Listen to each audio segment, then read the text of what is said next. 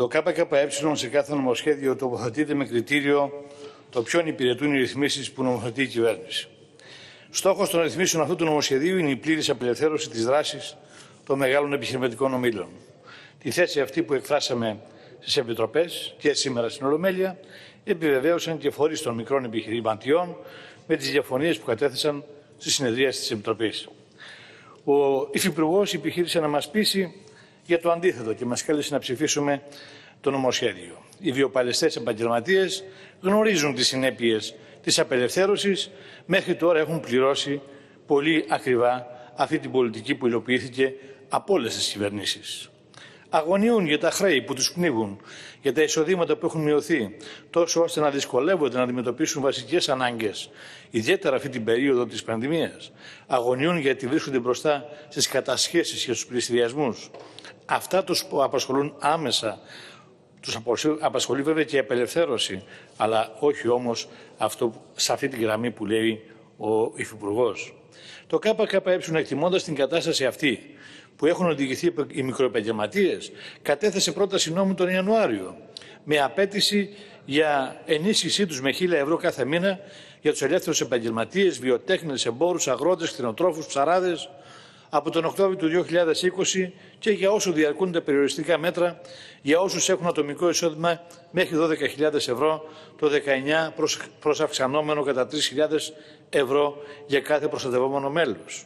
Διαγραφή τόκων και μείωση των οφειλών προς τράπεζες, μείωση των οφειλών προς το δημόσιο και τα ασφαλιστικά ταμεία των μη μισθωτών, πάυση των κατασχέσεων και πληστηριασμών και απαλλαγές από δημοτικά τέλη και μισθώματα δημοτικών εγκαταστάσεων.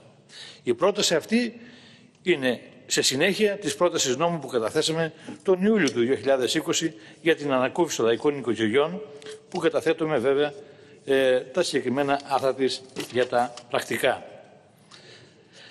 Η κυβέρνηση ενώ απελευθερώνει πλήρως τη δράση των επιχειρηματικών ομίλων, καταργώντας κάθε άλλη ρύθμιση που την εμποδίζει, απ' την άλλη επιδιώκει με κάθε τρόπο και μέσο να εμποδίσει τη δράση των εργαζομένων, τους αγώνες τους για τη διεκδίκηση των πραγματικών αναγκών. Ποινικοποιεί κάθε αγωνιστική κινητοποίηση. Συνεχίζει με ένταση την επίθεση στους εργαζόμενους και το λαό. Το αντεργατικό έκτρωμα που ετοιμάζει να φέρει η κυβέρνηση και το προβάλλει κάθε μέρα ο Υπουργός Εργασίας ε, ο κ. Χατζηδάκης ικανοποιεί την απέτηση του μεγάλου κεφαλαίου που ποτέ δεν συμβιβάστηκε με το σταθερό ημερήσιο χρόνο δουλειάς, το 8ωρο, και καταργεί μια κατάκτηση 101 χρόνων στη χώρα μας και 135 χρόνων από την εξέγερση του Σικάγου. Σήμερα που η εξέλιξη τη επιστήμης και της τεχνολογίας οδήγησε στην τεράστια, στην τεράστια αύξηση της παραγωγικότητας της εργασίας, στην παραγωγή αμύθιτου πλούτου, αντί να μειώνει το χρόνος εργασίας, το κεφάλαιο απαιτεί την αύξησή του όπως και το πολιτικό του προσωπικό. Την κατάργηση του σταθερού ημερήσιου χρόνου, ανατρέποντας τη ζωή του εργαζόμενου, οδηγώντας την απόλυτη εξαθλίωση. Αυτό δεν είναι πρόοδος, είναι οπισθοδρόμηση. Η καθημερινή αγωνία και δράση του ΚΚΕ είναι οι ανάγκες των εργαζομένων και των λαϊκών στρωμάτων. Αυτούς υπηρετούμε με όλες τις προτάσεις νόμου που καταθέτουμε. Υπερασπίζουμε τη ζωή, την υγεία και τα δικαιώματα των εργαζομένων, των αυταπασχολουμένων, των βιοπελιστών αγροτών και κτηνοτρόφων των μικρών επαγγελματιών.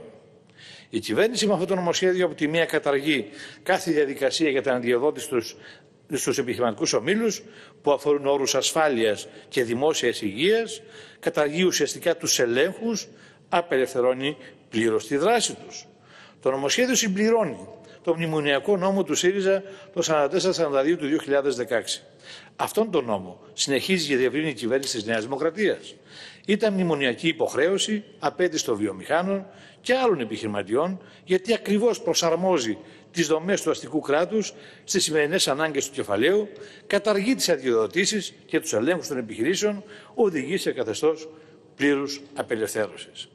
Καταργείται τους εκ των προτέρων ελέγχους όπως τεχνικές μελέτες, ζητήματα προστασίας της δημόσιας υγείας και άλλα. Οι 11 δραστηριότητες που περιλαμβάνονται στο νομοσχέδιο αφορούν περιπτώσεις όπου υπάρχουν ζητήματα κινδύνου δημόσιου συμφέροντος.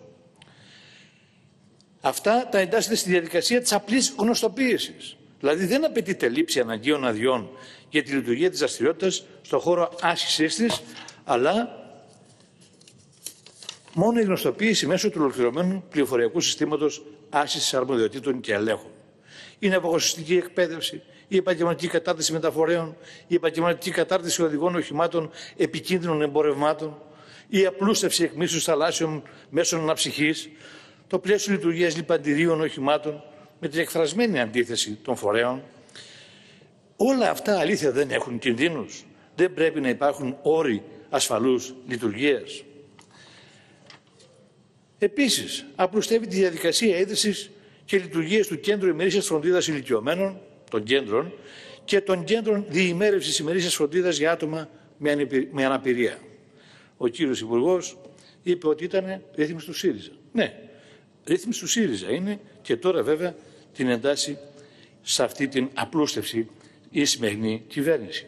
Ω ΚΚΕ είμαστε ενάντια στην ίδρυση και λειτουργία αυτών των δομών πρόνοιας από οποιονδήποτε ιδιώτη, είτε έχει τη μορφή του φυσικού προσώπου επιχειρηματία, είτε τη μορφή επιχείρησης, ΜΚΟ, φιλανθρωπικό σωματείο, ιδιωτικό κέντρο. Το κράτος πρέπει να αναλάβει πλήρως την ευθύνη για την ανάπτυξη και λειτουργία όλων των απαραίτητων δομών προστασίας των ηλικιωμένων και των ΑΜΕΑ σε πανελλαδικό επίπεδο. Δομές που θα λειτουργούν με όλες τις σύγχρονες προδιαγραφές, τον απαραίτητο εξοπλισμό, με όλο το αναγκαίο και επιστημονικά καταρτισμένο προσωπικό, με όλα τα εργασιακά δικαιώματα. Να εκπονούνται δε σύγχρονα προγράμματα για την ικανοποίηση των πραγματικών αναγκών των ωφελούμενων. Η ανάγκη για την ύπαρξη λειτουργία τέτοιων δομών, δημόσιων δομών, αναλύθηκε με τραγικό τρόπο στις συνθήκες της καραντίνας, όπου πολλοί ηλικιωμένοι και αμαία έπρεπε να αντιμετωπίσουν την πανδημία ο καθένας μόνος του στο σπίτι του λόγω της έλλειψης τέτοιων δομών. Είναι δε γνωστά τα περιστατικά σε κέντρα φιλοξενίας ηλικιωμένων και αμαία του ιδιωτικού τομέα που αλώθηκαν από την πανδημία ακριβώς επειδή κριτήριο για τη λειτουργία τους δεν είναι η ικανοποίηση των πραγματικών αναγκών αλλά η απόδοση αυτών των δομών ως επιχειρήσεις.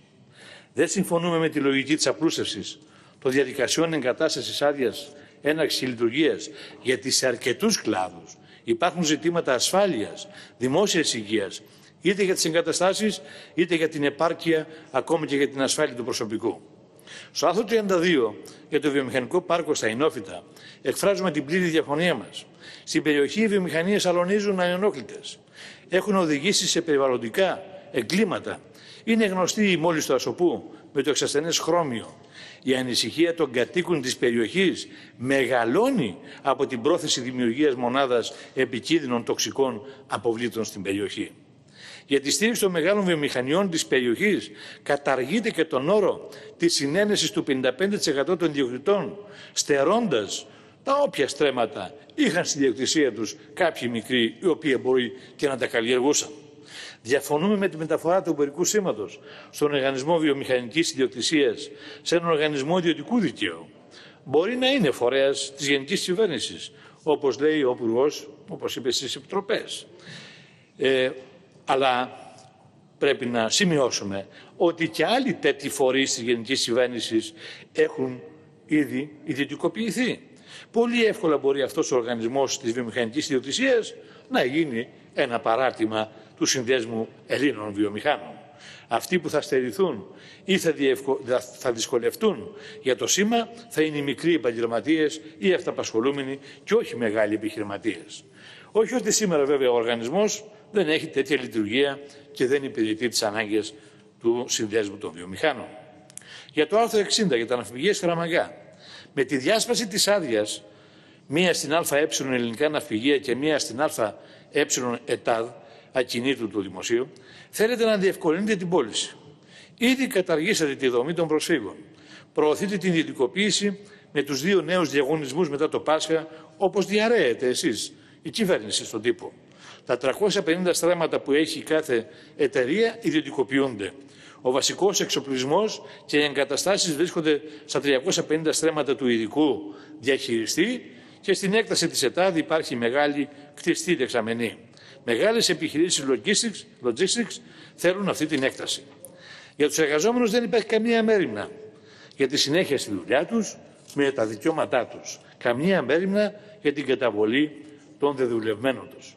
Είναι βέβαια γνωστή η εξέλιξη στα ναυπηγεία της Σύρου, όπου προτείνει ο ΣΥΡΙΖΑ, όπου οι εργαζόμενοι έχασαν όλα τα δικαιώματά τους, είναι με, ε, ε, με, εργολαβική, με εργολαβική σχέση, με, βέβαια με όρους αμοιβής εργασίας πολύ πιο επώδυνος. Σημειώνουμε τέλος ότι τα όποια μέτρα απελευθέρωσης δράσης του κεφαλαίου θα επιδεινώσουν τους όρους ζωής των εργαζομένων και των βιοπαλαιστών της πόλης και της Υπέθρου. Για την εργατική τάξη, τους βιοπαλαιστές της πόλης και της Υπέθρου δύο είναι οι δρόμοι ανάπτυξης. Ο ένας είναι αυτός που ζει, η μεγάλη πλειοψηφία των εργατικών λαϊκών οικογενειών. Αυτός που χαρακτηρίζει από τις κρίσεις, τους πολέμους και τη μεγάλη εκμετάλλευση των εργαζομένων και των λαϊκών στρωμάτων. Στην περίοδο της πανδημίας, αυτό το πρόσωπο έδειξε ότι είναι πιο αδίστακτο απέναντι στους πολλούς με αποτέλεσμα εκατομμύρια νεκρούς σε όλο τον κόσμο. Είναι ένα σύστημα που στέκεται εμπόδιο στην πρόοδο, στην ευημερία του λαού. Είναι αυτό που οδηγεί στη φτώχεια, την εξαθλίωση, τη μακροχρόνια ενεργεία. Όποιο παραγωγικό μοντέλο κι αν έχει επιλεγεί, όποια απελευθέρωση του μεγάλου κεφαλαίου κι αν έχει υπάρξει όλη αυτή την περίοδο, οι κρίσεις δεν έχουν σταματήσει. Τα αποτελέσματα είναι γνωστά. Τα μεγάλα αδιέξοδα των εργαζομένων και του λαού η επιδείνωση των όρων ζωής. Η ρυθμίση του νομοσχεδίου για την αξιοποίηση του πλαισίου αύξησης οικονομικών δραστηριοτήτων ενισχύει, διευκολύνει τη δράση των μεγάλων ομήλων που ευθύνονται για όσα ζει ο λαός μας. Το κράτος δεν είναι ουδέτερο, υπηρετεί την αστική τάξη που έχει την εξουσία και με τις λειτουργίες του διευκολύνει τη δράση της, θωρακίζει την εξουσία της. Είναι παρόν το κράτος αυτό σε κάθε αξίωση του κεφαλαίου, σε κάθε ανάγκη. Ό,τι στέκεται εμπόδιο το καταργεί. Όταν όμως ε, πρόκειται για τις συντάξεις, τότε ε, υπάρχουν δημοσιονομικά προβλήματα, καθυστερεί έως και πέντε χρόνια να αποδώσει οφειλές αναδρομικά ή να εγκρίνει τις συντάξεις. Ο δρόμος ανάπτυξης που έχει ως κίνητο το κέρδος έρχεται σε αντίθεση με τις ανάγκες των εργαζομένων και του λαού. Στέκεται εμπόδιο στην ικανοποίηση των αναγκών που δημιουργούνται από την εξέλιξη της επιστήμης και της τεχνολογίας. Η μόνη λύση είναι η νέα μορφή οργάνωσης οικονομίας με την εργατική τάξη που μόνο αυτή μπορεί να σχεδιάσει την ανάπτυξη κάθε παραγωγικής δυνατότητας με μοναδικό κριτήριο την ικανοποίηση των σύγχρονων αναγκών των εργαζομένων και του λαού. Με τη δική της εξουσία, τον κεντρικό σχεδιασμό, τη συμμετοχή και τον εργατικό έλεγχο μπορεί να διασφαλιστεί το περιβάλλον, η ασφάλεια του λαού και κάθε άλλης δραστηριότητας. Οι εργαζόμενοι έχουν μόνο να ωφεληθούν από αυτόν τον δρόμο ανάπτυξης και όσο καθυστερούν να τον κάνουν δική τους υπόθεση, οι συνέπειες θα είναι συνεχείς, μεγαλύτερες και όροι ζωής ακόμα χειρότεροι. Δεν μπορεί να ανέχονται να παράγουν πλούτο και να στερούνται ακόμη και το πιάτο με το φαΐ, που λέει ο λαός μας. Μπροστά η εργατική τάξη έχει σκληρούς αγώνες. Θα τους δώσει με όποια εμπόδια και αν επιχειρήσετε να βάλετε. Η 6η Μαΐου που θα γιορταστεί η Πρωτομαγιά με απεργία και συγκέντρωση στο Σύνταγμα θα ακουστεί δυνατά η φωνή της εργατικής τάξης κάτω τα χέρια από το 8ωρο, από τις κατακτήσεις, τα δικαιώματα των εργαζομένων και του λαού. Θα δώσουν οι εργαζόμενοι απάντηση στην κυβέρνηση για το κεφάλαιο, θα στηρίξουν τα δικαιώματα στη ζωή, στην υγεία και τις κατακτήσεις που ήδη έχουν μέσα από τους, μακρόχρον, από τους μακρόχρονους αγώνες. Ψηφίζουμε κατά επί της αρχής, στη δευτερολογία μας θα αναφερθούμε στις τροπολογίες που δεν είναι και λίγες.